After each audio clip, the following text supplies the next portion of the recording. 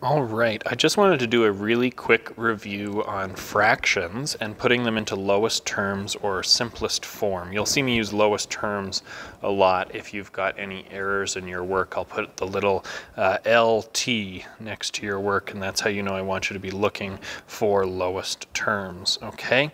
So um, in the way we're looking at this here is if I have a fraction like 6 over 10, I want that fraction to be written as simple as possible. Okay, so when I look at 6 and 10, I know that they can both be divided by the same number. I know that I can divide both of those numbers by 2 because both of those numbers are even. So putting a fraction into lowest terms is really just dividing any common factors between the numerator and the denominator. So I'm going to divide numerator and denominator by 2. When I do that, 6 divided by 2 turns into 3, and 10 divided by 2 turns into 5. Okay, so now this fraction 3 fifths, or 3 over 5, this is in lowest terms. The only thing I could divide both numbers by is 1.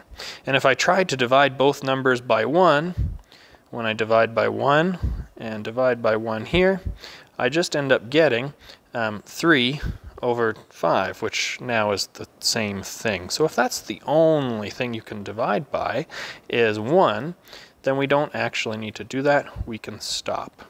Okay, so putting a fraction into simplest form really just means making sure we divide the numerator and denominator by the same thing so that the fraction becomes as small as possible. Okay, let's do another one. We'll work with something maybe a little bit harder.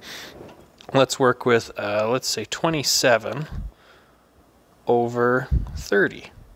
So 27 and 30, those guys both have a common factor of 3. Okay, so I'm going to divide the numerator and the denominator both by 3. So I'm going to divide by 3 on the bottom and divide by 3 up top. And 27 divided by 3 turns into 9. And 30 divided by 3 becomes 10. When I look at 9 and 10, the only things I can divide 9 by are 3 and 9.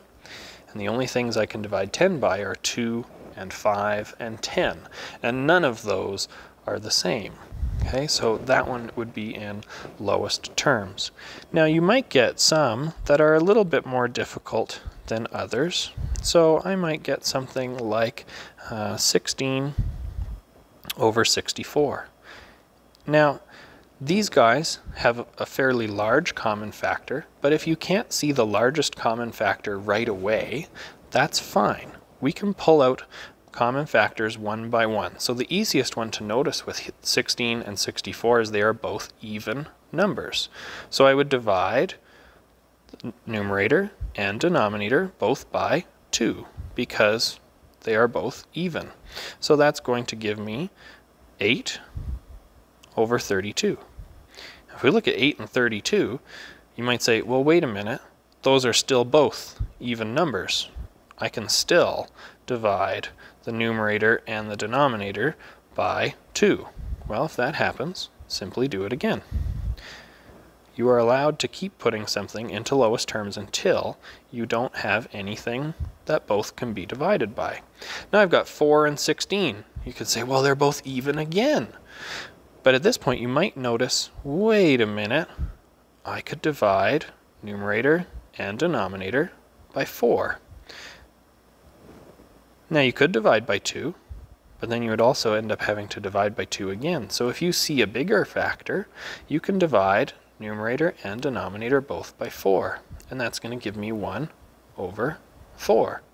Now, if you looked at those numbers originally, 16 over 64, and you thought, well, wait a minute, I can divide numerator and denominator. I'll try and use a different color. I can divide numerator and denominator both by 16? Well, yes, you can. And you can do that right away. And you would still get 1 over 4. So it doesn't matter whether you find the biggest possible common factor right away. If you can find it right away, you have a little bit less work to do, but as long as you pull out a common factor from the numerator and denominator every single time and you find all of them, then you'll put your fraction into lowest terms. So anytime you give me a fraction working in this percentage unit, I'm going to ask for lowest terms. So I'm going to have you guys do a little bit of practice with that.